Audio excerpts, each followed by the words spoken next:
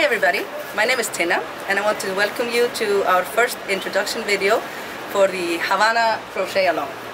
First of all, I really want to thank you for your wonderful comments and enthusiasm when we launched the CAL. It's really heartwarming and I'm so happy to see how many of you are going to join us and I'm super excited to see all your color choices and, and your versions of my Havana. Also, I want to thank the lovely MMA and all the wonderful admins in Pippin Crochet Club. You really are the best, and I'm so happy that you invited me to, to host to to have my Havana Afghan in your crochet along. So thanks a lot. You're just you're great.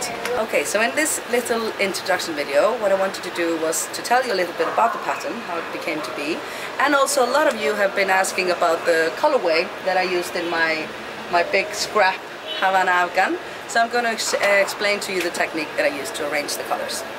First of all, the name Havana is because um, the Havana, the city, was the inspiration.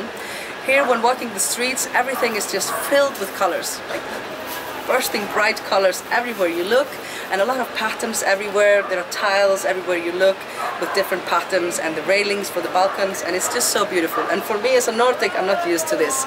And the most amazing thing is that when it all comes together, it makes this beautiful whole. And that was the idea behind the pattern. Behind the pattern, I wanted to use a lot of colors, a lot of different patterns, and then when it all comes together, it makes a lovely whole. The technique that we use here is the mosaic crochet technique, which I'm going to explain in detail in the second tutorial.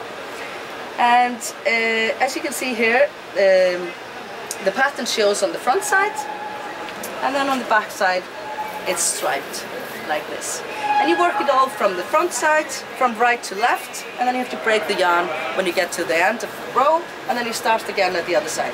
Don't worry about all the ends, that I know a lot of you have been worrying about the ends, because uh, I designed the blanket with this in mind, so I did a double border, which you can choose to make it small or the whole one, and all the ends just go in here. So no worries about the endless ends and sewing them in.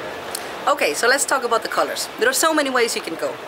I first published my pattern Havana Afghan in my book Havana Hack Book, which means Havana Crochet Book, back in 2016.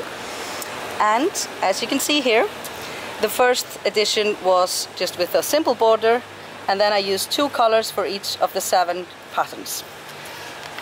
You can see them here. So there's always just two colors. That's one way to go. And then I wanted to show you this here also, which is a new project that I'm working on. It's going to be the Havana shawl. And I wanted to do that in just two colors all the way through. So here you can see how the pattern goes with just one repetition. I'm not, I'm not finished, but I have the first, I'm on the fifth pattern here. Just with two colors. And that's, that's going to be really pretty for a, a blanket, I think, as well. Just wanted to show you to give you an idea. But what we're really going to do here is show you how to use your stash to work your Havana.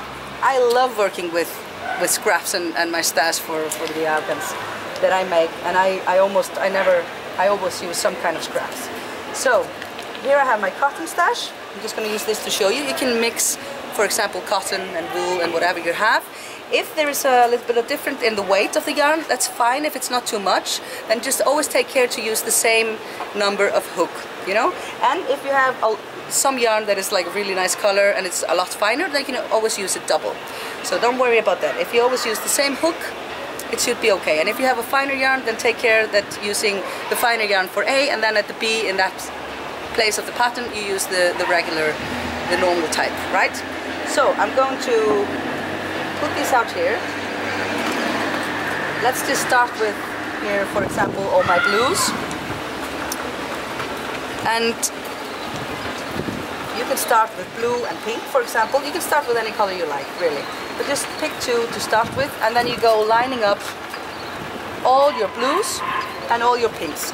And like I said before, this is just a simple fade with a small tiny tricks that is a double fade. So it's the double fade, we go fading, both colors are gonna be fading.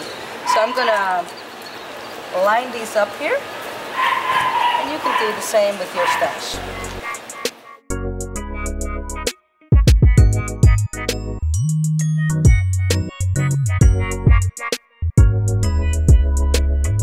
Okay, so now you see I've lined up my stash just roughly to give you an idea how to do this and you see how here we start with red going into pink going into purple and then blue again here we start with a blue going to turquoise green yellow and like this you can just keep going I really like neon so I always have some neon colors in in my work and as you can see, you can use the smaller scraps as well because it doesn't really matter in the big picture.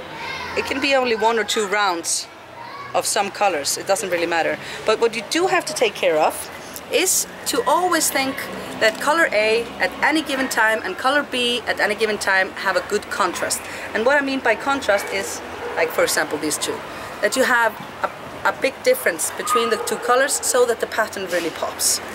And another thing that you should take care of is that the two colors that are lining up together always go nicely together. This is of course a matter of taste as well, obviously. So just always think, do I like these, these here two together? And then you can go chaining and you can mix, mix it up as well. But that's the basic technique for the the double fades. And I'm really really really excited to see all your scrap projects as well because like I said I love working my projects with scraps because it just gives extra depth to have different shades of each color. And it's also so much fun to use leftover yarn from something that you made for your kid or for your mom or whatever and then you remember you know that part of the blanket. Oh yeah that's the sweater I, I, I made for my mom last Christmas you know? So that's all there is Thank you so much. And again, I'm so much looking forward to seeing all your versions. Ciao!